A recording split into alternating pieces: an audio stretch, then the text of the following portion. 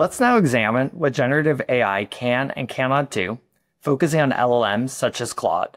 Think of this as getting to know a new colleague. Understanding their strengths and limitations help you collaborate more effectively. To start, we'll focus on what these systems do remarkably well. You might be amazed at how versatile modern language models can be. They're skilled with language in ways that seemed impossible just a few years ago.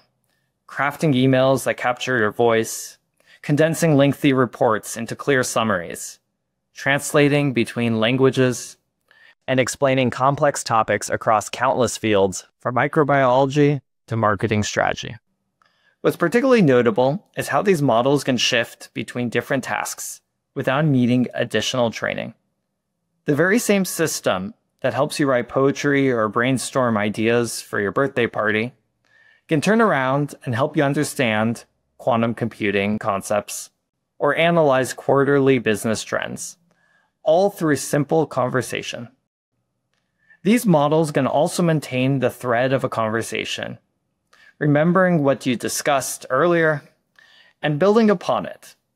If you mention your project deadline in passing, for example, and refer back to it later within the conversation, the AI typically understands what you're talking about, much like a human conversation partner would.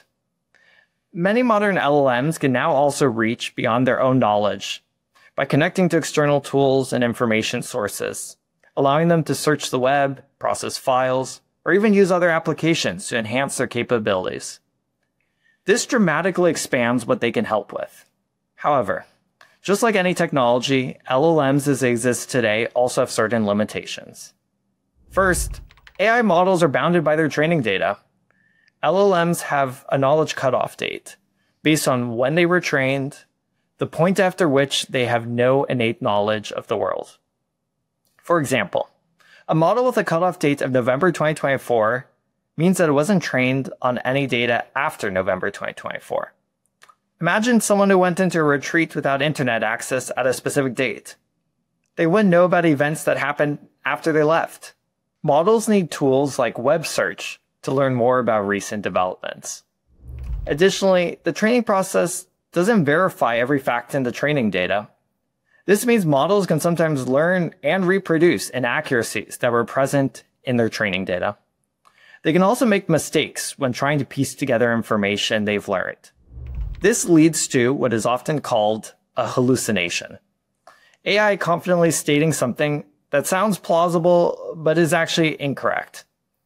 Unlike search engines that simply retrieve existing documents, LLMs generate responses based on statistical patterns sometimes producing hallucinations.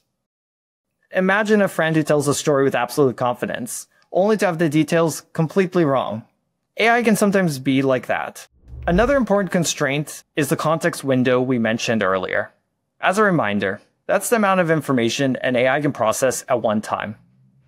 Every LLM has a maximum limit to how much information it can consider during a single interaction. If this limit is exceeded, the AI won't be able to remember information that falls outside the window, usually on a first in, first out basis. Depending on the size of the model, this can limit its ability to process large documents or remember the entire conversation. Furthermore, unlike traditional software that produces identical outputs given the same inputs, LLMs are somewhat unpredictable by default, also known as non-deterministic. Ask the same question twice, and you might get slightly different responses each time. This variability stems from the nature of how these models generate text. They're making probabilistic decisions about what text should come next based on patterns in their training data and certain settings that developers can tweak. This creative variability can be great for brainstorming and generating diverse ideas, but requires awareness when consistency or accuracy are critical. Some LLM interfaces also offer settings to control this randomness when needed. This setting is often referred to as temperature. Additionally, while these models are improving rapidly, they've historically shown limitations with complex reasoning tasks, particularly with mathematical or logical problems requiring multiple steps. The good news is that newer reasoning or extended thinking models, specifically designed to think step by step, are showing strong progress in these areas. And finally, While models like Claude can now access external tools, they may still lack access to specific data sources or specialized tools that would be needed for certain tasks. It's like having a brilliant colleague who can't access your company's internal database. Their ability to help will be limited no matter how smart they are. If a model doesn't have access to a piece of data or tool that is needed to answer a question, then it should not come as a surprise that it won't be able to help answer the question. The field of generative AI is rapidly evolving.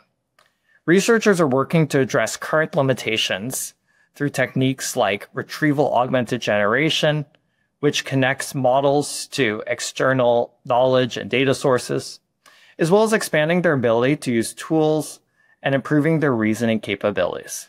That said, some limitations will likely remain for the foreseeable future, even if we don't know exactly what those limitations will be. Understanding what AI can or cannot do is essential for AI fluency and helps you determine when and how to best incorporate these systems effectively into your work and daily life. The most effective applications will leverage the complementary strengths of humans and AI. We bring critical thinking, judgment, creativity, and ethical oversight that AI may struggle to replicate, while AI offers speed, scale, pattern recognition, and the ability to process vast amounts of information.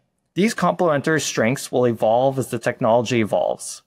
That's why continued learning and experimentation are so valuable. They help you stay abreast of these changes and discover new possibilities. In these exercises across this course, you'll have a chance to explore these concepts firsthand through conversations with Claude.